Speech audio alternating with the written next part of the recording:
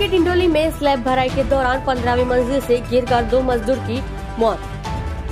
डिंडोली डिमार्ट के पास निर्माणाधीन माधव फेस की पंद्रहवीं मंजिल पर काम कर रहे दो मजदूर नीचे गिर गए। गंभीर चोटों के कारण दोनों मजदूर उपटिज्म में अस्पताल में मौत हो गई।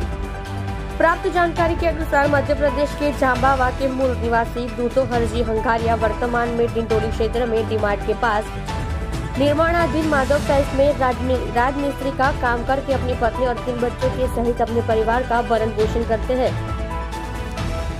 इस बीच दूधो और श्रमिक धर्मेश के साथ पंद्रहवीं मंजिल पर काम कर रहे थे। जब टेका हिल कर रहा था तो दुर्घटनावश वह नीचे गिर गया। निर्माण स्थल पर ठेकेदार संतोष पाटिल जो गंभीर रूप से घायल हुए मजदूरों को तुरंत दूधा और धर्मेश को इलाज के लिए स्मीमेर अस्पताल ले गया, जहाँ सिर समेत शरीर के विभिन्न हिस्सों में गंभीर चोट लगने के कारण ड्यूटी पर मौजूद डॉक्टर ने मृत घोषित कर दिया। घटना के बाद दोनों परिवार वाले सन्न रह गए। वही डिंडोली पुलिस को सूचना दी गई, इसलिए पोस्टमार्टम के समेत अन्य ऑपरेशन के लिए तेज मुंगेर अस्पताल पहुँची। जब टीम को स्थल निरीक्षण के लिए भेजा गया दूधों की मौत के बाद तीन बच्चों के सिर से उनके पिता का साया उठ गया। डिंडोरी पुलिस पूरे मामले की जाँच कर रही है।